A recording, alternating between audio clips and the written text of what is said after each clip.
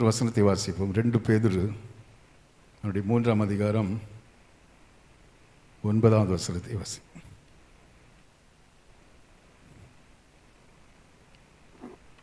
ரெண்டு பேதுரு பாமதிக்கிறார் என்று சிலர் எண்ணுகிறபடி கர்த்தர் தமது வாக்குத்தத்தை குறித்து தாமதமாயிராமல் ஒருவரும் கெட்டுப்போகாமல் எல்லாரும் மனம் திரும்ப வேண்டும் என்று விரும்பி நம்மேல் நீடிய பொறுமை உள்ளவராக இருக்கிறார். அப்போ இதில் உங்களுக்கு புரிந்து கொள்ள வேண்டிய காரியம் என்ன சொல்கிறார் எல்லாரும் மனம் திரும்ப வேண்டும் என்று அவர் வெயிட் பண்ணிட்டு இருக்கிறார் அவர் வரல இப்போ சில சொல்லுவாங்க இயேசு வர்றார் வர்றாருன்னு சொல்லிட்டு இதுவரை வரவே இல்லை. இனி வரவா போகிறார்? இப்படியெல்லாம் அநேகர் பரிகாசிக்கிற நாட்களுக்குள்ளாம் வைக்கப்பட்டிருக்கிறோம். ஆனால் வேத வசனம் ஒருபோதும் போய் சொல்லவே சொல்லாது. அது உண்மை உள்ளது. அதில் ஒரு எழுத்து கூட மாறாது என்று சொல்லி நம்ம அறிந்திருக்கிறோம். அந்த அர்த்தம் என்னது? தாமதிக்கிறார் என்று சொல்வதற்கு வாக்குத்தத்தத்தில் அவர் என்ன செய்யல? பின்வாங்கல்ல எஸ் சீக்கிரமாக என்ன செய்வார்? வருவார். நித்திய ஜீவனை நமக்கு தருவார். இதுதான் வாக்குத்தத்தம். இந்த வாக்குத்தத்தை குறித்து தாமதமாக இராமல் எதுக்காக வெயிட் பண்ணிட்டு இருக்கிறாரா எல்லாரும் மனம் திரும்ப வேண்டும் என்று பொறுமையிலும் ஜாஸ்தியான நீடிய பொறுமையோடு அவர் என்ன செய்கிறார் பார்த்துட்டே இருக்கிறார். வெயிட் பண்ணிட்டே இருக்கிறார். ஹalleluya அப்போ நான் சொன்னபடி இப்போ இந்த கூட்டங்களெல்லாம் ஏற்படுத்துகிறோம். கத்தோடைய வல்லமைகள் நமக்கு கொடுக்கப்படுகிறது. வரங்கள் கொடுக்கப்படுகிறது. வாக்கு வல்லமைகள் நமக்கு கொடுக்கப்படுகிறது. அநேக தாளந்துகள் நமக்கு கொடுக்கப்படுகிறது. அப்படிதான் சரி சுருக்கமாக உலக பிரகாரமாக அநேக ஆசீர்வாதங்களை ஆண்டவர் தருகிறார். இதனுடைய சாராம்சம் என்னவென்று சொன்னால் எல்லாரும் மனம் திரும்ப வேண்டும். ஹலலுயா மனம் திரும்புவதற்காகவே இந்த கூட்டங்கள் ஏற்படுத்தப்பட்டிருக்கிறது. நாம் ஒருவேளை ஆண்டவர் ஏற்றுக்கொண்டவர்களாக இருந்தாலும் சில வேளைகளிலே கர்த்தரும் சித்தம் செய்யாதபடி சின்ன அளவில் வித்தியாசமாக போயிருக்கிறார் ஆண்டு நம்மை குறித்து என்ன எதிர்பார்க்கிறார்? நீங்களும் என்ன செய்ய வேண்டும்? நீங்களும் நானும் மனம் திரும்ப வேண்டும். மனம் திரும்ப வேண்டும்னா ஏதோ பாவத்திலிருந்து வருகிறோம் என்ற அர்த்தம் இல்லை நம்ம அவருடைய அவர் வைத்த வழியிலிருந்து அவர் எதிர்பார்க்கிற நம்மை குறித்து ஒவ்வொருத்தரும் ஆண்டவர் ஒரு எதிர்பார்ப்பை வைத்திருக்கிறார். ஒரு நோக்கத்தோடு தான் இந்த உலகத்தில் ஆண்டவர் நம்மை அனுப்பி இருக்கிறார் அந்த நோக்கம் செய்யாதபடி இருந்தால் கூட நம்ம என்ன செய்ய வேண்டும்? மனம் திரும்ப வேண்டும் என்று ஆண்டவர் விரும்புகிறார். இரண்டாவதாக நமக்கு கிருபைகளை வல்லமைகளை வரங்களை தந்து ஆண்டவர் இந்த உலகத்தில் அனுப்புகிறார். எதற்காக? மற்றவர்கள் மனம் திரும்ப வேண்டும். மற்றவர்களை மனம் திரும்ப வைக்க வேண்டும் என்று சொல்லி ஆண்டவர் விரும்புகிறார். சரிதானே? அலலூயா அப்போ இந்த இடத்துல சத்தத்தை கேட்கிற ஆண்டுடைய பிள்ளையை நம்மை குறித்த ஒரு நோக்கம் நம்மை கொண்டு மற்றவர்களை மனம் திரும்ப வைக்க வேண்டும். புரியுதா உங்களுக்கு? அப்போ நம்மை கொண்டு சில வேளையில் மக்களுக்கு ஆசீர்வாதங்களை ஆண்டவர் கட்டளையிடலாம். அந்த ஆசீர்வாதங்கள் கொடுக்கிற நோக்கமே அவர்கள் இயேசுவிடத்தில் மனம் திரும்ப வேண்டும். இயேசுவிடத்தில் வர வர வேண்டும். இயேசுவை ஆராதிக்க வேண்டும். இயேசுடைய ராஜ்யத்துக்குள்ளே பிரவேசிக்க வேண்டும் என்கிற ஒரு நோக்கத்தோடு தான் அந்த காரியங்களில் ஆண்டவர் செய்கிறார்? செய்கிறார். சரியா? ஹalleluya ஆண்டவர் நீடிய பொறுமை உள்ளவராக இருக்கிறார். நீடிய பொறுமை உள்ளவராக இருக்கிறார். ஏன்னா அவருக்கு ஒரு மனுஷன் என்றாலும் மிகவும் முக்கியம்.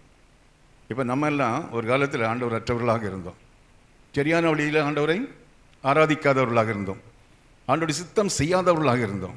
நம்மேல் நீடிய பொறுமையாக இருந்து ஏதோ ஒரு நம்மை தேடி வந்து நம்மை ரட்சித்து இன்றைக்கு அவருடைய சமுதிரம் நிப்பாட்டியிருக்கிறார். உண்மைதானே? அதான் பர்பன்ஸ் பாடுவார் என்னை தேடி இயேசு வந்தார் எந்த வாழ்வை மாற்றிவிட்டார். அவருடைய கிருபை அவர் நம்மை தெரிந்து கொண்டு நம்முடைய சூழ்நிலைகள் எல்லாம் அவர் என்ன செய்தார்? மாற்றி விட்டார் என்று சொல்லி பார்க்கிறோம். அப்போ நம்ம எல்லாரும் மாற்றப்பட்டிருக்கிறோம் என்று சொன்னால் கர்த்தருடைய திட்டம் நம்ம ஒவ்வொருவரும் இந்த உலகத்தில் அனுப்பி இவரெல்லாம் எங்கேயோ இருக்கிறாங்க என்னவோ செய்துட்டு இருக்கிறாங்க இவ்வளோ எப்படியாலும் தேடி பிடித்து இவ்வளோ ரட்சித்து இவ்வளோ அபிஷேகித்து மற்றொரு மனம் திரும்பும்படியாக பயன்படுத்த வேண்டும். இது அவருடைய நோக்கம். அப்போ அவருடைய பார்வையில் ஒரு மனுஷனானாலும் மிகவும் வெளியேறப்பெற்றவர்கள் என்பதை நீங்கள் மறந்து விடக்கூடாது. சரிதானே? அப்போ எல்லா மனுஷன் மேலும் அவர் எப்படி இருக்கிறாரு? நீடிய ஒரு நீடிய பொறுமையான பொறுமையிலும் அதிகமான உச்சகட்டம் தானது நீடிய பொறுமை நீடிய பொறுமை உள்ளவராக இருக்கிறார். மனுஷனுக்கு கூட அந்த பொறுமை நீடிய பொறுமை எல்லாம் கிடையவே கிடையாது. அப்படிதானே? நமக்கே தெரியும். உலக பிரகாரம் சில சூழ்நிலைகள் வரும்போது நம்ம பொறுமை இழந்து போகிறோம். ஆனால் ஆண்டவர் அப்படி இல்லை. மனுஷன் தூரமாய் போனாலும் பாவிகளாக மாறினா பாவிகளாக இருந்தாலும் பிசாசின் பிடியில் சிக்கியிருந்தாலும் ஆண்டவரை தூஷிக்கிறவர்களாக இருந்தாலும் அவர்கள் மேல் நீடிய பொறுமையாக இருந்து எப்படியாயிலும் என்னுடைய பிள்ளைகள் ரட்சிக்கப்பட வேண்டும். எப்படியாயிலும் என்னுடைய பிள்ளைகள் என்னை ஆராதிக்க வேண்டும். எல்லா என்னுடைய பிள்ளைகள் ஒன்று ஒரு பிள்ளைகள் கூட ஒரு பிள்ளை கூட நரகத்திற்கு போகக்கூடாது. பரலோக ராஜ்யத்துக்கு வர வேண்டும் என்று சொல்லி விரும்புகிற ஒரு நல்ல ஆண்டவர். அதனால தான் அவர் நல்லவர் என்று நம்ம சொல்லுகிறோம். இது அவங்களுக்கு நல்லவர்களே நேசிக்கும் போது அது சாதாரண காரியம். தீயவர்களையும் நேசிக்கிற ஒரு உள்ளம் நம்முடைய ஆண்டவருக்கு தான் நல்லவர். ஹலலூயா கிருபை உள்ளவர் இரக்கம் உள்ளவர் நீடிய பொறுமை உள்ளவர் என்பதை நாம் அறிந்திருக்கிறோம். சங்கீதக்காரன் கூட ஒரு பகுதியில் சொல்லும்போது அநேக பகுதிகளில் கொடுக்கப்பட்டிருக்கிறது. சங்கீதம் எண்பத்தி ஆறு பதினைந்தில் ஆண்டவரை பற்றி அவன் சொல்லுகிறான். வாசிங்கள் சங்கீதம் எண்பத்தி ஆறு பதினைந்து. ம். நீர் மனதுருக்கமும் இரக்கமும் நீடிய பொறுமையும் பூரண கிருபையும் சத்தியமுள்ள தேவன் அவன் எவ்வளவு பேர் வச்சிருக்கிறான் பாருங்க. ஆண்டவருடைய குணாதிசயங்களை அவன் சொல்லு அதில் ஒன்று தான் என்னது? நீடிய பொறுமை. நீங்கள் எல்லாம் நினைக்கணும் அப்படி நீடிய பொறுமை நிமித்தம் நான் ரட்சிக்கப்பட்டிருக்கிறேன். அப்படி நீடிய பொறுமை நிமித்தம் நான் மனம் திரும்ப வேண்டும் என்று நீடிய பொறுமை உள்ளவராக இருந்தபடினால் இன்று நான் ஆண்டவரை ஆராதிக்கிறேன்.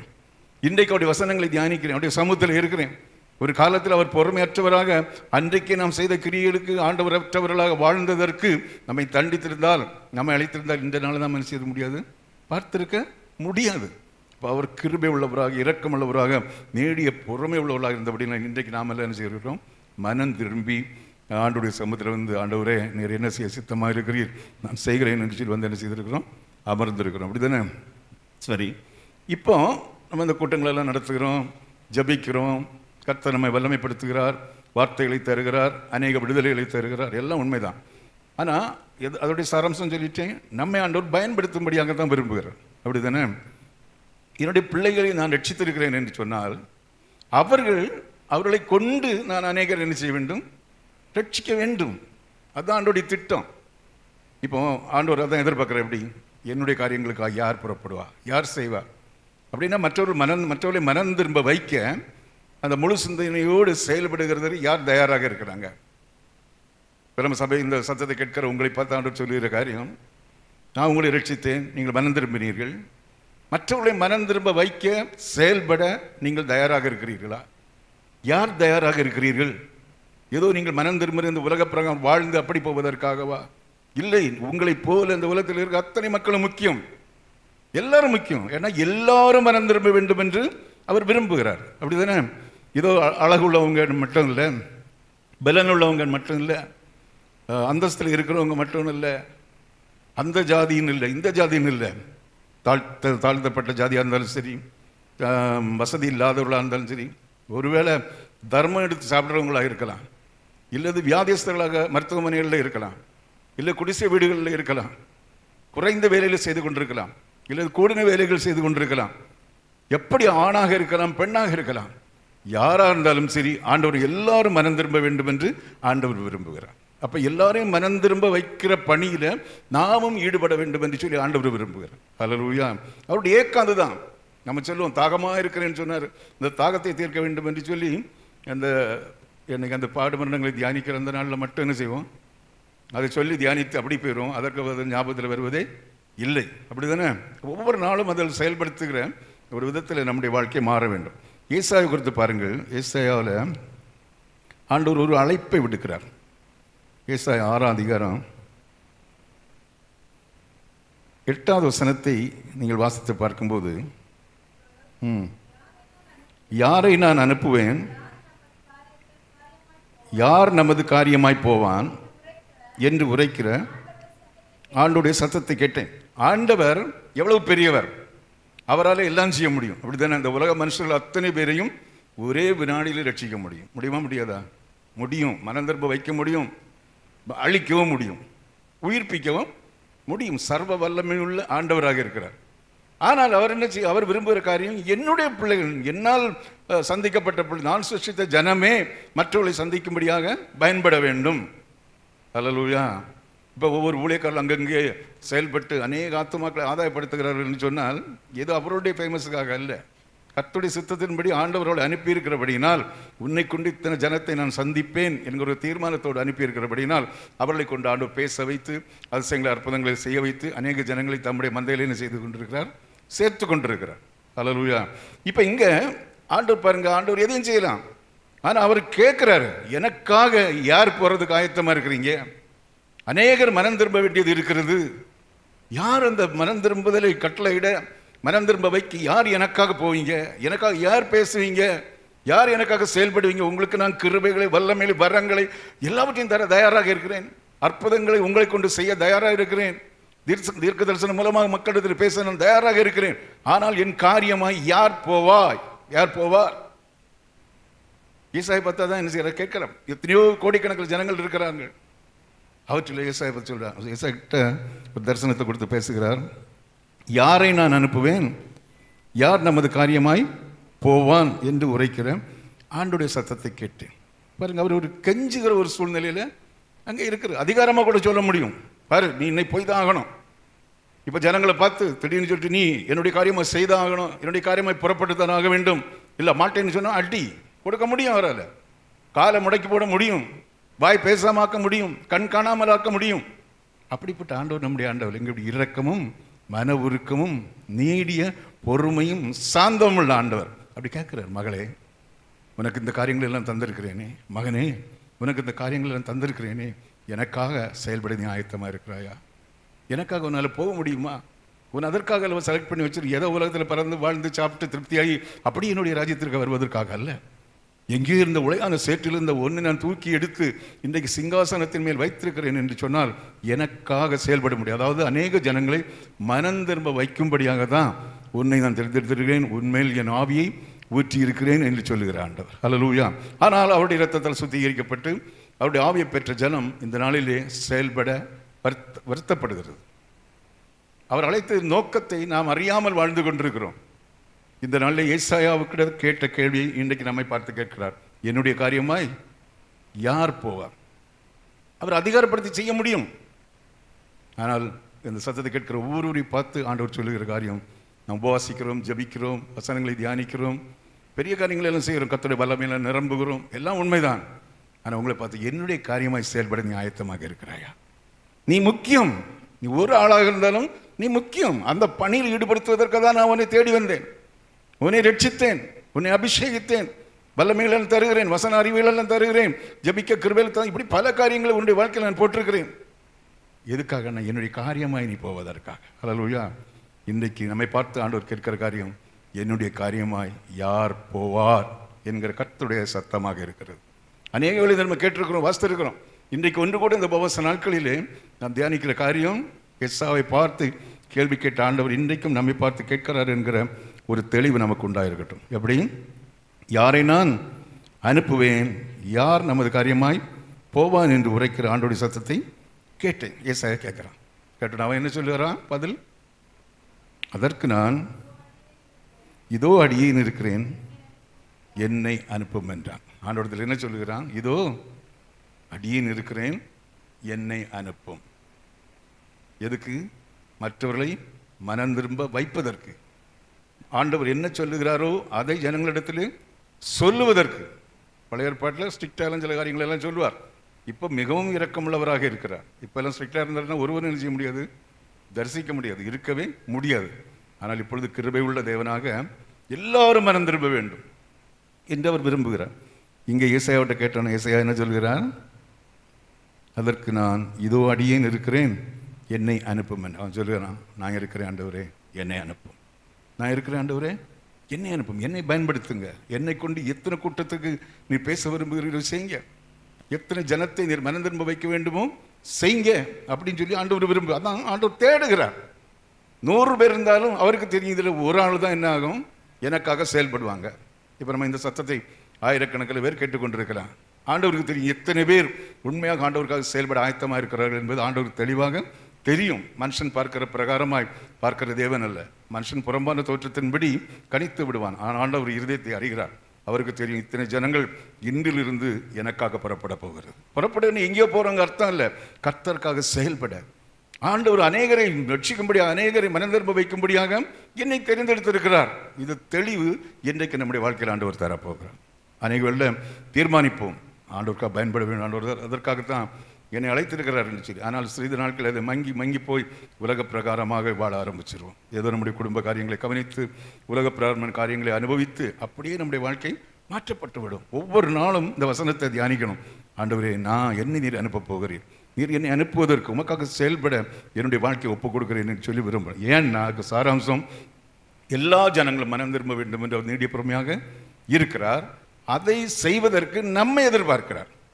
புரிஞ்சுட்டு உங்களுக்கு? முதல்ல சொன்னேன் அவர் எதையும் செய்ய முடியும் ஆனால் ஜனங்கள் சந்திக்கப்பட வேண்டும் மனம் திரும்ப வேண்டும் என்பதற்காக அவர்களை ஆண்டவருக்காக திசை திருப்ப வேண்டும் என்பதற்காக நம்மை அவர் எதிர்பார்க்கிறார்.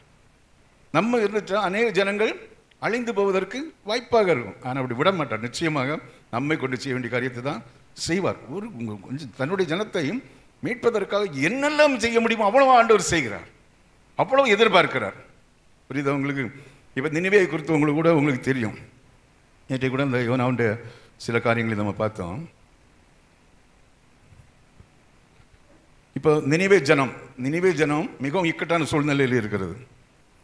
பத நாலாம் அதிகாரம் பதினொன்றாவது வசனத்தை வாசிப்போம். பலதுகைக்கும் இடதுகைக்கும் வித்தியாசம் அறியாத லட்சத்து இருபதனாயிரம் பேருக்கு அதிகமான மனுஷரும் அநேக மிருக ஜீவன்களும் இருக்கிற மகா நகரமாகிய நினைவைக்காக நான் பரிதா பரிதபியாமல் இருப்பேன். அப்படின்னு என்ன அர்த்தம்? நினைவே ஜனம் ஒரு குறிப்பிட்ட ஜனங்கள் ஒரு இது கொடுத்துருக்கு நம்பர் கொடுத்துருக்கு. இவ்வளவு ஜனமும் மனம் திரும்ப வேண்டும் என்று தான் ஆண்டவர் விரும்புகிறார். புரியுது அவங்களுக்கு இவர்களெல்லாம் தவறு செய்து ஆண்டோடைய சிக்ஷைக்கு அழிவுக்கு தயாராக இருக்கிறாங்க. ஆனால் நம்ம பார்த்தோம் அவர் மனதுருக்கமுள்ள தேவன் நீடிய பொறுமை உள்ள தேவன். அப்போ அந்த ஜனமும் மனம் திரும்ப வேண்டும் என்று தான் ஆண்டவர் விரும்புவார். சரிதானே? அப்போ இந்த உலகமும் இப்பொழுது மனம் திரும்பாமல் ஒவ்வொருவரும் பல பல காரியங்களிலே ஆண்டவரற்றவர்களாக விக்கிர ஆராதனை செய்கிறவர்களாக ஆண்டவரை மறுதளிக்கிறவர்களாக உலகத்தோடு வாழ்ந்து அப்படி மடிந்து போகிறவர்களாக லட்சக்கணக்கில் ஜனங்கள் இருக்கிறாங்க. இருக்கிறாங்களா இல்லையா? ஆனால் அவர்கள் அழிந்து போக வேண்டும் என்று ஆண்டவர் விரும்பவே இல்லை. அவர்களும் மனம் திரும்ப வேண்டும் என்று தான் ஆண்டவர் விரும்புகிறார். சரிதானே? அப்போ மனம் திரும்ப வேண்டும் என்று விரும்புகிற ஆண்டவர் அவர்கள் மனம் திரும்புவதற்காக நம்மை பயன்படுத்த எதிர்பார்க்கிறார். அலையிலூயா இப்போ இங்கே பாருங்க. ஆண்டவர் சொல்றாரு இவ்வளவு ஜனம் எனக்கு முக்கியம். இவ்வளவு ஜனம் எனக்கு ஏன்னா அவங்க ஆண்டவர் அற்றவர்களாக இருக்கிறாங்க. ஆண்டவரை ஆராதிக்காதவர்களாக இருக்கு. இவர்கள் எல்லாம் ஆண்டவரை ஆராதிக்கிறவர்களாக ஆண்டவரை நம்புகிறவர்களாக ஆண்டோடைய ராஜ்யத்துக்கு தகுதி உள்ளவர்களாக மாற்றப்பட வேண்டும் என்பது ஆண்டோடைய சித்தம். இதற்காக ஆண்டவர் ஒரு ஒரு ஆளை தேடுகிறார். அப்படி தானே இவர்கள் அத்தனை பேரும் மனம் திரும்ப வைக்கிறது ஆண்டவர் லேசான காரியம்.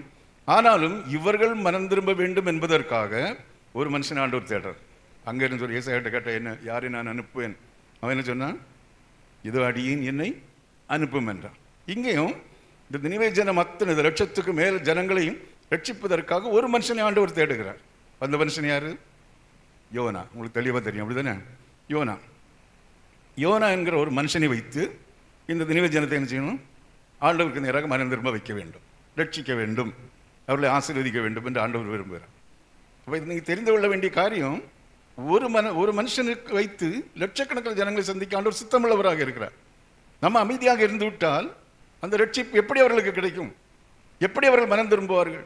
ஆண்டோட ராஜ்யத்தில் நான் போய் நிற்கும்போது ஆண்டவர் கேட்பார் உன்னை வைத்து இத்தனை லட்சம் ஜனங்களை நான் ரட்சிக்க வேண்டும் என்று மனம் திரும்ப வைக்க வேண்டும் என்று விரும்பினேனே நீ அது செயல்படவில்லையே? என்று கேள்வி கேட்கும்போது நான் வெட்கப்பட்டு தலை குனிய வேண்டிய சூழ்நிலை வரலாம். ஹலலூயா ஹலலூயா ஆனால் லட்சமாக இருக்கலாம் இல்லாமல் இருக்கலாம்?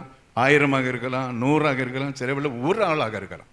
புரிதல் ஒரு ஆள் ஒரு ஆளுக்காக உங்களை ஆண்டவர் நியமித்திருந்தால் அதை செய்ய வேண்டும். அதை செய்தால் அது விட்ட பலன் உங்களுக்கு கண்டிப்பாக இருக்கும். நீங்கள் அமைதலாக இருந்து விட்டால் அந்த மனுஷனுடைய அந்த மனுஷனுடைய ரட்சிப்பு தூரமாய் போய்விடும். ஆனால் கர்த்தர் செய்த நினைத்த காரியம் தடைபடாது. நீங்கள் ஒரு ஆளு செய்யாவிட்டாலும் அவர் வேற ஆளை கொண்டு செய்ய வரல முடியும். ஆனாலும் அவர் எதிர்பார்க்கிற காரியம் உன்னை கொண்டு செய்ய வேண்டும் என்று. இப்போ இந்த ஒரு யோனாவை கொண்டு ஆண்டவர் என்ன செய்கிறார்? அந்த தேசத்தை ரட்சிக்கிறார். அதற்காக யோனாவை கர்த்தர் தெரிந்தெடுத்தார். அப்படிதானே? இப்போ இதில் சில குளறுபடிகள் வருது. இப்போ நான் எதுக்கு சொல்ல வரேன்னா ஜனத்தின் மேல் எவ்வளோ பிரியமாக இருக்கிறார் அதற்காக எவ்வளோ கர்த்தர் பிரயாசப்படுகிறார் என்கிறதுக்காக தான் இந்த சம்பவத்தை இன்றைக்கு நாம் என்ன செய்கிறோம்? தியானிக்கிறோம். சரிதானே? அப்போ இந்த தினிவை ஜனத்தை ரட்சிப்பது மனம் திரும்ப வைப்பது கர்த்தருடைய சித்தம். அதற்காக யோனாவை கர்த்தர் அப்படி அப்படிதானே? இப்போ யோனா என்ன செய்கிறான் ரெண்டாவது வசனத்தில் யோனா முதல் வசனத்தில் யோனாவை கத்தர் தெரிந்தெடுத்திருக்கிறார் ரெண்டாவது நீ இப்படி காரியங்களை செய் என்று சொல்லி சொல்கிறார் அவருடைய அக்கிரமம் என் சமூகத்தில் வந்து எட்டி விட்டது அதனால் நீ போய் அந்த நகரத்துக்கு விரோதமாக என்ன செய்ய அப்படின்னா நீ போய் செய். உன்னை நான் தெரிந்தெடுத்திருக்கிறேன். அவளை நான் ரட்சிக்க விரும்புகிறேன். நீ அங்கே போய் செய் என்று சொல்லி சொல்லுகிறார். இவன் என்ன செய்தான்? ஓடி போயிட்டான். எங்கே போயிட்டான்? அவன் தெரியும்ல? போயிட்டான். இப்போ இவன் தூரமாய் போகிறான். கப்பலை கண்டு கூலி கொடுத்து சமூகத்தின் விலகும்படி அவர்களுடைய தர்சீசு போ கப்பல் ஏறினான். இவன் என்ன செய்தான்? இவன் தெரிந்து கொண்டது நோக்கத்தை நிறைவேற்றாதபடி அதை விரும்பாதபடி அவன் என்ன செய்துட்டான் வேற விட்டு போயிட்டான். ஏன்னா எனக்கு இதெல்லாம் முடியாது. ஒரு வந்து நினச்சிருப்பேன் என்ன கொண்டு செய்யட்டும் வேற யாரை கொண்டாண்டவர் செய்யட்டும். அனைவரும் சொல்லுவாங்க எனக்கு இப்போல்லாம் முடியாது. பிறகு பார்க்கலாம். அல்லது நான் செய்ய முடியாது. வேற ஆள் கொண்டு செய்யட்டும். இப்படியெல்லாம் அநேகர் முறுமுறுக்கில் ஒரு ஒரு வாழ்க்கை உண்டு.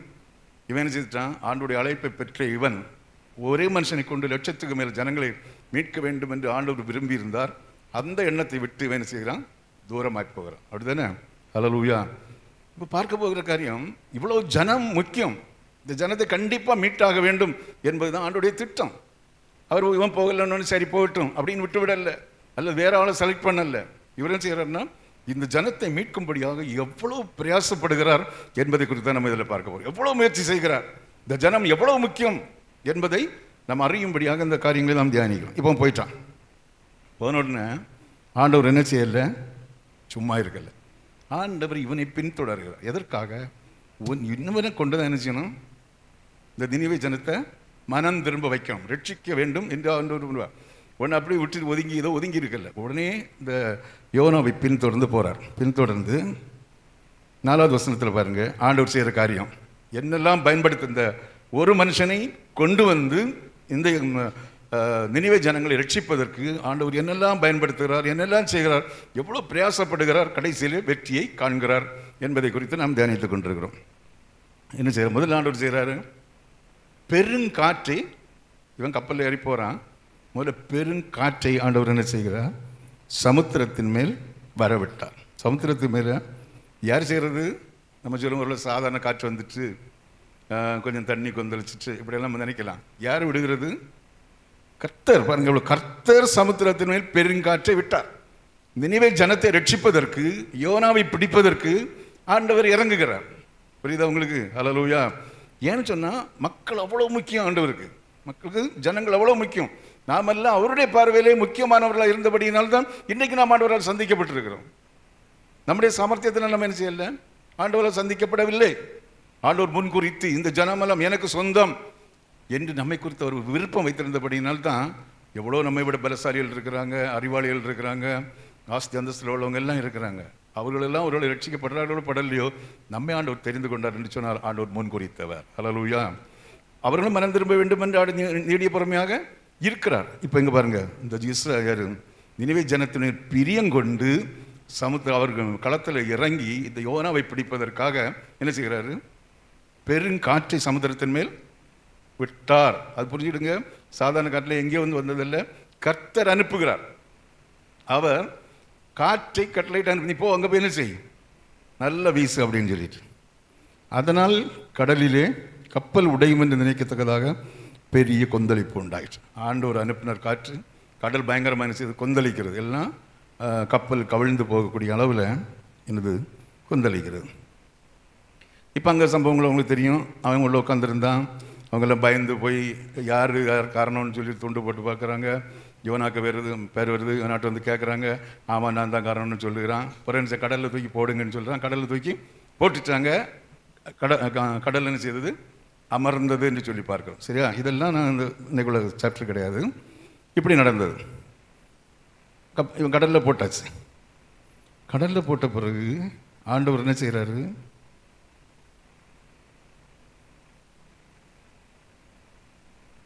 யோனாவை விழுங்கு பதினேழாவது வசனம். யோனாவை விழுங்கும்படி ஒரு பெரிய மீனை கர்த்தர் ஆயத்தப்படுத்தி இருந்தார் எல்லாம் கர்த்தர் கர்த்தர் ஏன் தெளிவாக போட்டுருன்னு சொன்னால் நினைவே ஜனத்தின் மேல் ஆண்டவர் எவ்வளோ பிரியமாக வைத்திருக்கிறார். யோனாவை விடாதபடி தொடர்ந்து பிடிச்சு செய்ய வேண்டிய கருத்தை அவனை கொண்டு செய்கிறார் என்பதை குறித்து அறியும்படியாக தான் கர்த்தர் பெருங்காட்சி அனுப்பினார். கர்த்தர் மீனை ரெடி பண்ணி வச்சிருக்கிறார். புரியுதா உங்களுக்கு? எதற்காக? நினைவே ஜனம் அழிந்து போகக்கூடாது. நினைவே ஜனத்தை முழுசா நான் ரட்சிக்கணும். அதற்கு இவனைத்தான் பயன்படுத்தணும். இவனை தான் முன்குறித்து வைத்திருக்கணும். இவன் எங்க போனாலும் இவனை விடக்கூடாது என்பதற்காக ஒரு அப்பா ஒரு பிள்ளையை தேடி தேடி விரட்டி விரட்டி எங்கேயோ போய் பிடிச்சிட்டு வருகிறது போல ஆண்டவர் செய்கிறார். சாதாரண மனுஷனை பின்பற்றி வெளியே போகிறார். ஆனால் பெரிய பெரிய காரியங்களை செய்கிறார். முதல்ல என்ன செய்கிறார்? பெருங்காற்றை பயன்படுத்துகிறார். அதனால அவன் என்ன தூக்கி வீசப்பட்டது ஏன்னா அவன் போகிற யாத்திரையை ஆண்டவர் செய்துட்டார்? தடை பண்ணி விட்டார். தடை பண்ணி இப்போ எங்கே போகிறான் ரூட்டு மாதிரி கடலுக்குள்ளால போகிறான் போகும்போது அங்கே அவனை விழுங்குறதற்காக மீனே கட்டல. மீன் மனுஷன் சொன்னால் கேட்குமா? கேட்குமா ஆனால் ஆண்டோர் சொன்ன எல்லாம் கீழ்ப்படியும். காற்றும் கடலும் கீழ்ப்படியும் மீனும் கீழ்ப்படியும் எல் கழுத கீழ்ப்படியும் எல்லாமே செய்யும்? கீழ்ப்படியும் எல்லாமே அவருடைய சிருஷ்டியாக இருக்கிறது. இப்போ இங்கே என்னது? யோனாவை விழுங்கும்படி ஒரு பெரிய மீனை கர்த்தர் ஆயத்தப்படுத்தியிருந்தார். அது வந்து என்ன செய்து அவனை? ரெடியாகி அவர் சொன்ன உடனே அது அழகாக நீந்தி வந்து யோனாவை என்ன செய்தாச்சு விழுங்கிட்டு அப்படி தானே தலலூயா அந்த மீன் வயிற்றிலே யோனா ராப்பகல் மூன்று நாள் இருந்தான். மீன் ஆயத்தப்படுத்தியிருந்தார். சரி மீனுக்குள்ளே இருக்கிறான். இப்போ அதுக்கு முன்னாலேயே நிறைய அந்த கதையெல்லாம் சொல்லுகிறான். கடலுக்குள்ளே போனேன் அங்கே பாசி ஏற்படுத்தியிருக்காரு இவனை போட்டு நெருக்கிறதுக்கு. தண்ணீர் இவனை போட்டு நெருக்கிறது. இப்படி எப்படி ஆழத்துக்குள்ளே போகிறான். இதெல்லாமே ஆண்டுடைய செயல்பாடு. எப்படி நீ எங்கே பண்ண மாட்டோம் ஒன்று நெருக்கி புழிஞ்சி எப்படின்னு ஒன்றை கொண்டு வந்து ஏன் ஜனம் முக்கியம்? என் ஜனத்தை ரட்சிப்பதற்காக தான் உன்னை இந்த உலகத்தில் கொண்டு வந்தேன். வச்சிருக்கிறேன் நீ உன் பாட்டுக்கு போனால் என்ன விட முடியாது? என் ஜன லட்சத்துக்கு மேலே ஜனங்கள் எனக்கு ரொம்ப முக்கியம். எங்கே போனாலும் உன்னை நான் விட மாட்டேன் என்கிற அர்த்தத்தில் ஆண்டவர் செய்கிறார். தொடர்ந்து பிடிக்கிறார். சரியா? அடுத்தது அடுத்து பாருங்க. இப்போ அவன் செய்கிறான் கடைசியில் எல்லா நெருக்கங்களையும் பட்டு கடைசியில் அவன் என்ன செய்கிறான்? ஆண்டோடத்தில் ஒப்புரவாகிறான். ஆண்டோடத்தில் ஜெபிக்கிறான் பொருத்தனைகளை பண்ணுகிறான். இப்பொழுது பத்தாவது வசனம் ரெண்டாவது அதிகாரம் பத்தாவது வசனத்தில் கர்த்தர் மீனுக்கு கட்டளையிட்டார். அது யோனாவை கரையிலே கக்கி விட்டது புரிஞ்சுட்டோங்க இப்போ? எல்லாம் கர்த்தர் கர்த்தர் கரெக்டாக விட்டு ஆண்டவர் சொல்கிறார் மீனிட்டு சரி அவன் இப்போ சரண்டர் ஆகிடுச்சு இனி அவனை கொண்டு நான் பயன்படுத்தி நினைவு ஜனத்தை நான் என்ன செய்ய போகிறேன் ரட்சிக்கு போகிறேன்னு சொல்லிட்டு மீனே நீ கரையில் கொண்டு என்ன அவனை விட்டுரு அப்படின்னு ஆண்டவர் சொல்கிறார் மீன் கீழ்ப்படுகிறது. அலலூயா மீன் கீழ்ப்படுகிறது. அது நினச்சிதான் மீனா மீனை கர் மீன் மீனுக்கு கட்டளையிட்டார். அது யோனாவை கரையிலே கக்கி விட்டது புரியுது? அவங்க மீனை பயன்படுத்தி அவர்கிட்ட பேசி இவனை பின் தொடர்ந்து போய் அப்படி கரையில் கொண்டு கக்கி விடுச்சு கரையில் வந்தவன் விழுந்தாச்சு இப்போ திருப்பி ஆண்டவர் பேசுகிறார். நீ என்ன செய்? நினைவைக்கு போ என்று சொல்லி. இப்போ போகிறான் போய் சொல்கிறான் என்ன சொல்கிறான் இப்படி நினைவே கவிழ்க்கப்பட்டு போகும் என்று சொல்லி சொல்லுகிறான்.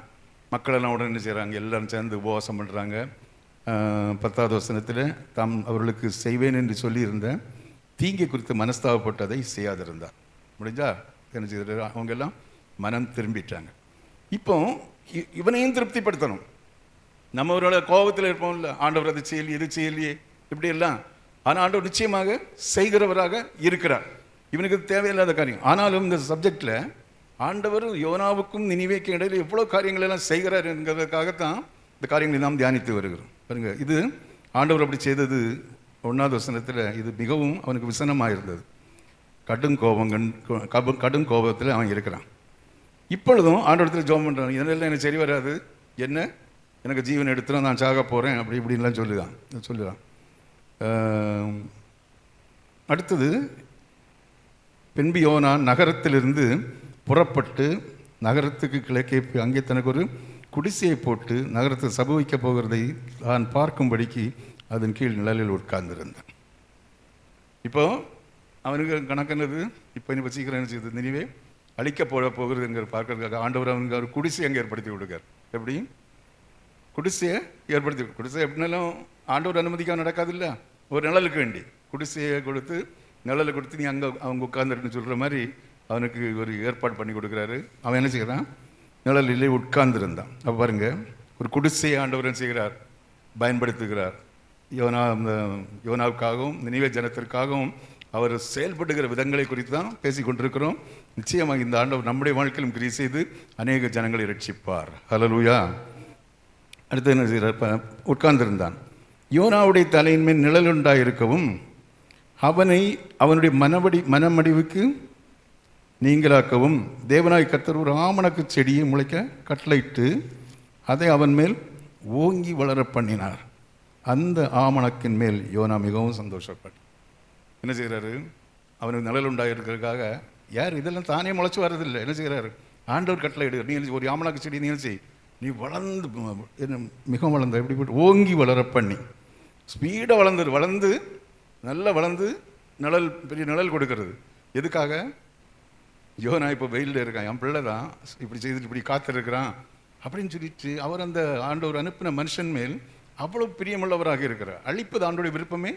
கிடையாது. இவன் என்ன அந்த நிலையில் இருந்து நல்லா ரிலாக்ஸ் ஆகி அப்படி உட்காந்துருக்கிறான் சரியா? சந்தோஷப்பட்டான். அப்புறம் அதுலேயே ஆண்டவர் உடல்ல நீ இப்படி இருக்கக்கூடாது அப்படின்னு சொல்லிட்டு மறுநாளிலே கிழக்கு வெளுக்கும் நேரத்தில் தேவன் ஒரு பூச்சியை கட்டளையிடுகிறார். அது ஆமணக்கு செடியை அரித்து போட்டது. அதனால் அது காய்ந்து போச்சு. பாருங்க தேவன் ஒரு பூச்சியை கட்டளையிட்டார். கர்த்தர் ஒரு ஆமணக்கு செடியை முளைக்க பண்ணினார். கர்த்தர் பெருங்காற்றை வீச பண்ணினார். புரியுதா உங்களுக்கு? கர்த்தர் மீனை ஆயத்தம் பண்ணினார். ஒரு மனுஷனை கொண்டு வர அவருடைய சித்தம் செய்வதற்கு ஒரு கூட்டம் ஜனத்தை ரட்சிப்பதற்கு ஆண்டவர் பயன்படுத்துகிற காரியங்களை நீங்கள் சிந்தித்து பார்க்க வேண்டும். நம்முடைய ஆண்டவர் அப்படி ஒரு ஜனத்தின் மேல் பிரியமுள்ளவராக இருக்கிறார். அவர் அனுப்புகிற பிள்ளைகள் மேலும் பிரியமுள்ளவராக இருக்கிறார். சரி இப்போ அறித்து போட்டு இப்போ பாருங்க. இதெல்லாம் ஆண்டவர் கீழ்ப்படுகிறது. ரெண்டாவது பாருங்க சூரியன் உதித்த போது தேவன் உஷ்ணமான கீழ்காற்றை கட்டளையிட்டார். யாரு? தேவன் உஷ்ணமான கீழ்காற்றை கட்டளையிட்டார். அங்கே அரிச்சு போட்டது. அரிச்சு போட்டு சும்மா வெயிலே இல்லை காற்று உஷ்ணமான காற்று அனுப்பு. அங்கே பெருங்காற்று அனுப்பினார். உஷ்ணமான காற்றுனா என்னது? சூடு காற்று. நம்ம சில டைமில் வெளியே போனால் ஓ காற்றே சூடாக இருக்குன்னு சொல்லுவோம்ல. இதே போல் அவனுக்கு இருக்க முடியாது அவனுக்கு நிம்மதியை கெடுக்கும்படியாக என்ன செய்கிறாரு சூடு காற்றை அனுப்புகிறார். உயா வெயில் யோனாவுடைய தலையில் படுகிறதுனால் அவன் சோர்ந்து போய் தனக்குள்ளே சாவை விரும்பி கொண்டான். புரிஞ்சவங்களுக்கு இப்போ இவ்வளோ காரியங்களை செய்துட்டு அவன் இன்னும் திருப்பியும் சாகணும்னு சொல்லுகிறான். அப்போ தான் பாருங்கள் ரெண்டு காரியத்தை ஆண்டவர் சொல்கிறார் நீ முக்கியம் ஜனங்களும் முக்கியம். எதற்காக ஒன்று நான் தேர்ந்தெடுத்தேன்னா இது ஜனங்கள் அத்தனை பேரும் மீட்கும்படியாக தான் ஒன்றை தெரிந்தெடுத்தேன். அப்போ அவர் சொல்கிறாரு நீ பிரயாசப்படாததும் நீ வளர்க்காததும் ஒரு ராத்திரியில் முளைத்ததும் ஒரு ராத்திரி அழிந்து போனதுமான ஆமணக்காக நீ பரிதபிக்கிறாயே. வலது கைக்கும் இடது கைக்கும் வித்தியாசம் அறியாத லட்சத்தி இருபதனாயிரம் பேருக்கு அதிகமான மனுஷரும் அநேக மிருக ஜீவன்களும் இருக்கிற மகா நகரமாகிய நினைவைக்காக நான் பரிதவியாமல் இருப்பேனோ? நினைவை ஜனம் எனக்கு முக்கியம். அத்தனை பேர் ஆண்டவரும் செய்தார் காப்பாற்றினார். அலலூயா அலலூயா சிலவெல்லாம் ஆண்டுடைய பிள்ளையே நாம் இந்த உலகத்தில் வாழ்ந்து கொண்டிருக்கிறோம். வாழ்ந்துட்டு கொண்டிருக்கோம்னா நம்முடைய சில வாழ்க்கையில் சில பிரச்சனைகள் வந்தோடனே ஐயோ ஏன் எனக்கு இந்த பிரச்சனை? இப்படி நான் கஷ்டப்படுகிறேன் இப்படி என்னுடைய குடும்பம் கஷ்டப்படுகிறது இப்படி பிரச்சனைகள் இருக்கிறது என்று சொல்லி ஜனங்களாகி நாம் வேதனைப்பட்டு கொண்டிருக்கிறோம். அலலுயா ஆனால் அழிந்து போகிற லட்சத்திற்கு மேலாக ஜனங்களை குறித்து நம்ம கரிசனையே கிடையாது. நம்ம பாருங்கள் உங்களை பார்த்து சொன்னால் எனக்கு அந்த பிரச்சனை இந்த பிரச்சனை கஷ்டமாக இருக்குது. இவன் சொன்னது போல் ஐயோ வெயில் அடிக்குது. ஆமணக்கு செடி செ- கரி அந்த பூச்சி கடித்து போட்டது. நிழல் இல்லை கஷ்டப்படுகிறேன். அவர் சொல்றார் நீ இதுக்காக பரிதாபப்படுறியே? இந்த ஒரு லட்சத்துக்கு மேலே உள்ள ஜனங்களுக்காக நான் பரிதபிக்க பரிதபிக்காமல் இருப்பேனோ? ஹalleluya அப்போ இது தெரிந்து கொள்ள வேண்டிய காரியம் முதலாவது ஒரு கூட்டம் ஜனத்தை மீட்கும்படியாக மனம் திரும்ப வைக்கும்படியாக நம்மை ஆண்டவர் தெரிந்தெடுத்திருக்கிறார். உலக பிரகாரம் சில சூழ்நிலைகளில் நமக்கு சுகம் குறைந்து போகும். சுகம்னா என்னது? சுக வியாதி என்ற அர்த்தம் இல்லை. ஏதாவது சின்ன பிரச்சனைகள் நமக்கு சமாதானங்கள் வரும்போது இதை நினைத்து உலகத்தில் ஆண்டவர் நம்மை அழைத்து நோக்கத்தை மறந்து விடுகிறோம் சரிதான் நீ உங்களை கேட்டால் உங்களுக்கு என்ன இப்போ எப்படி இருக்கிறீங்கன்னு கேட்டால் ஐயோ எனக்கு பிரச்சனை பயங்கரமாக இருக்குது என்ன ஒரு நீங்கள் ஒரு அந்த பக்கத்தில் இருக்க ஆளை பற்றி நீங்கள் ஏதாவது ஜோம் பண்ணீங்களா ஏதாவது சொன்னீங்களா? ஆத்தம பாரம் உங்களுக்கு இருக்கிற எனக்கு இருக்கிற பாரமே பெரிதாக என்னால் ஒன்றுமே செய்ய முடியாது. எனக்கு வீட்டில் இருக்கிற பிரச்சனையே பெரியது. எனக்கு அதை செய்ய வேண்டும் இதை செய்ய வேண்டும் அப்படி வளர வேண்டும் அப்படி வேலை பார்க்க வேண்டும் அப்படி இப்படி தான் நம்ம யோசிப்போமே தவிர கர்த்தர் நம்மை அழைத்து நோக்கத்தை நிறைவேற்றுவது இல்லை. அதற்காக நம்முடைய செவிகளை திருப்புவது இல்லை. ஆண்டவர் சொன்ன முதலாவது தேவனுடைய ராஜ்யத்தையும் அவருடைய நீதியும் தேடுங்கள் அப்பொழுது எல்லாம் உங்களுக்கு கூட கொடுக்கப்படும். இப்போ நம்ம கூட கொடுக்கப்படுகிற காரியங்களின் நிமித்தம் அதில் சில சோர்வுகள் வரும்போது நம்ம நொந்து ஒவ்வொரு நாளும் அதை தியானித்து தியானித்து நொந்து நொந்து ஆண்டவர் எதுக்காக நம்மை அழைத்தார் எதை செய்யும்படி அவர் விரும்புகிறார் அந்த நோக்கத்தை நாம் மறந்து விடுகிறோம். நல்லலூயா அப்போ இந்த உபவாச நாட்களில் வந்திருக்கிற ஆண்டுடைய பிள்ளையே உன்னை அழைத்தது எதற்காக என்று சொன்னால் நினைவேல இருக்கிற ஜனங்களைப் போல இருக்கிற ஜனங்களை மனம் திரும்ப வைக்கும்படியாக. இதை நீங்கள் புரிந்து கொள்ள வேண்டும். ஒரு உலக பிரகாரம் யாத்திரையில் சில சோதனைகள் இருக்கலாம். இந்த சோதனைகள் மத்தியில் நீங்கள் பார்க்க வேண்டிய காரியம் என்னை அழைத்தது நோக்கத்தை நான் நிறைவேற்ற வேண்டும். நான் மரண தருவாயாக இருந்தால் இந்த நிமிஷம் நான் என்ன செய்ய வேண்டும் இதற்காக என்னை ஆண்டவர் அழைத்திருக்கிறார் அதை நான் செய்து முடிக்க வேண்டும். ஏன்னா இந்த உலகம் நிரந்தரம் அல்ல. நம்ம கிருபை வரங்களில் தந்து நம்ம அழைத்த நோக்கமே ஒரு கூட்டம் ஜனத்தை சந்திக்க வேண்டும் என்று சொல்லி. ஒரு கூட்டமாக நான் முதல் சொன்னது போல ஒரு நபராக கூட இருக்கலாம். அந்த காரியத்தை நாம் செய்யாமல் என்னுடைய பிரச்சனை பெரிதாக இருக்கிறது. இந்த யோனா சொல்வது போல நான் சாக போகிறேன் ஏன்னா எனக்கு நிழல் போயிடுச்சு நிம்மதி போயிட்டு நான் சொன்னது அங்கே நடக்கலை இது அவனுடைய பிரச்சனை. ஆனால் ஆண்டோடைய காரியம் அப்படி இல்லை உனக்கு இல்லை. நான் உன்னுடைய அப்பாவாக இருக்கிறேன். உனக்கு வேண்டியதெல்லாம் நான் செய்வேன். உனக்கு நிழல் வேணுமோ உனக்கு நிழல் தருவேன். உனக்கு எங்கே போகணுமோ உனக்கு சாப்பாடு வேணுமோ எல்லாமே தருவேன். ஆனால் நான் அழைத்த நோக்கத்தை நீ என்ன செய்ய வேண்டும்? நிறைவேற்ற வேண்டும். உன்னை கொண்டு அநேக ஜனங்களை ரட்சிப்பது மீட்பது மரந்திரும்ப வைப்பது தான் என்னுடைய நோக்கம் என்று சொல்லி ஆண்டவர் சொல்லியிருக்கிறார். அலலுயா அப்போ இதை கேட்கிற தேவனுடைய பிள்ளையே உங்களுக்கு ஆயிரம் பிரச்சனைகள் உலகத்தில் இருக்கலாம். ஒருவேளை நீங்கள் ஒருவேளை ஆண்டோடு ஜோம் பண்ணி யாருக்கா சொன்ன காரியங்கள் கூட நடக்காமல் இருக்கலாம். அது என்ன காரணம் என்பது ஆண்டவருக்கு தான் தெரியும். உண்மையாக ஆண்டவர் சொன்னால் கண்டிப்பாக நடக்கும். இல்லைன்னா ஆண்டவர் செய்யலைன்னா அது வேற காரியம். ஏன்னா சாராம்சமே ஒரு காரியம் ஒரு மனுஷனை பார்த்து நீ இப்படி இருந்தால் சரி வராது பிரச்சனைகள் வரும் என்று சொல்லுகிறார் என்றாலே அதை அழிப்பதற்காக அந்த பிரச்சனையை விட்டு மனம் திரும்பும்படியாக. சில வேளை கூட நமக்கு சொப்பனங்கள் மூலமாக ஊழியக்காரர்கள் சில காரியங்களை பேசுவார். இப்படி சில காரியங்கள் அவங்களுக்கு வரப்போகிறது போல தோன்றுகிறது. அப்படி ஒரு சொப்பனங்கள் பார்ப்பாங்க சிலர். யாருக்காவது வாழ்க்கையில் ஏதாவது சம்பவிக்கிறது போல. அது எதுக்காகன்னு சொன்னால் நீங்கள் அவர்களுக்கு ஜபிப்பதற்காக அவர்களுக்கு உபதேசம் பண்ணுவதற்காக அந்த பிரச்சனையை அவர்களை மீட்பதற்காக தான் அந்த காரியங்களை உங்களுக்கு ஆண்டவர் சொல்லித் தருகிறே தவிர எல்லா மனுஷனையும் அடிப்பதும் கொல்லுவதும் ஆண்டவருக்கு சித்தமே இல்லை. உலக பிரகாரம் வாழ்ந்திருக்கும்படியாக தான் ஆண்டவர் விரும்புகிறார். அலலுயா அப்போ இதை கேட்குற ஆண்டோடைய பிள்ளை ஆண்டவர் விரும்புகிற காரியம் யாரை நான் அனுப்புவேன்? நீங்கள் சொல்ல வேண்டிய காரியம் என்னை அனுப்பும் ஆண்டவரே. நான் பயன்பட விரும்புகிறேன். நீர் என்னை அபிஷேகத்தின் நோக்கம் என்னுடைய வாழ்க்கையில் நிறைவேற வேண்டும். என்னை இந்த உலகத்தில் அனுப்பினது நோக்கம் என்னுடைய வாழ்க்கையில் நிறைவேற வேண்டும். யாருமே காரணம் சொல்லாதீங்க. பிரச்சனைகள் இல்லாத மனுஷன் உலகத்தில் கிடையாது. சிறியவர்களுக்கு உண்டு பெரியவர்களுக்கு உண்டு. என்ன பிரச்சனை இருந்தாலும் சரி எனக்கு அது முக்கியமல்ல. என்னை ஆண்டவர் அனுப்பின நோக்கம் என்னுடைய வாழ்க்கையில் நிறைவேறும் அதை விட்டு விட்டு உலகத்தின் சுகத்தை மட்டும் நம்பினால் யோனாவுக்கு நடந்த கதை கூட நமக்கு நடக்கல. அவர் அவர் கரி- ஒரு அனுப்புவார். அப்படிதானே? கரிச்சி அனுப்புனா அது நம்முடைய நிம்மதி என்ன செய்திடும் கெடுத்துடும் அதுக்கு பிறகு சங்கடமாக இருக்கும். இப்போ என்ன செய்ய வேண்டிய காரியம்? எப்படி என் நிழல் இருக்கிறதோ வெயில் இருக்கிறதோ குடிசை இருக்கிறதோ எப்படி என்ன இருக்கிறதோ எனக்கு என்னை ஆண்டவர் நோக்க நோக்க அனுப்பின நோக்கம் நிறைவேறணும். என்ன ஆண்டவர் அழைத்திருக்கிறார். நான் அவருக்காக செயல்படுவேன் சொல்லி வாக்கு கொடுத்துருக்கிறேன். என்னால் என்ன முடியும் என்பது எனக்கு தெரியும் ஆண்டவருக்கும் தெரியும். என்னை எதற்கு எங்கெல்லாம் பயன்படுத்துவார் என்பது எனக்கும் தெரியும் ஆண்டவருக்கும் தெரியும். அதற்கு நான் செவி கொடுக்கிறேன் என்று நீங்கள் செயல்படும் போது ஆண்டவர் ஒரு கூட்டம் ஜனத்தையும் ரட்சிப்பார் உங்களையும் வாழ வைப்பார். இவனைப் போல முறுமுறுக்காதபடிக்கு கர்த்தர் மட்டும் கர்த்தர் தான் எனக்கு வெளிச்சம். அவர்தான் எனக்கு நிழல். அவர்தான் எனக்கு அடைக்கலாம். அவருடைய கரத்தை பிடித்துக் கொள்வேன். அவருடைய பிரசன்னம் எனக்கு போதும். அவர் என்னை நடத்தட்டும் நீங்கள் இருந்தால் அவருடைய சித்தமும் உங்களுக்கு கொண்டு நிறைவேறும். உங்களுடைய கத்த கண்ணின் கண்மணி போல அதுதான்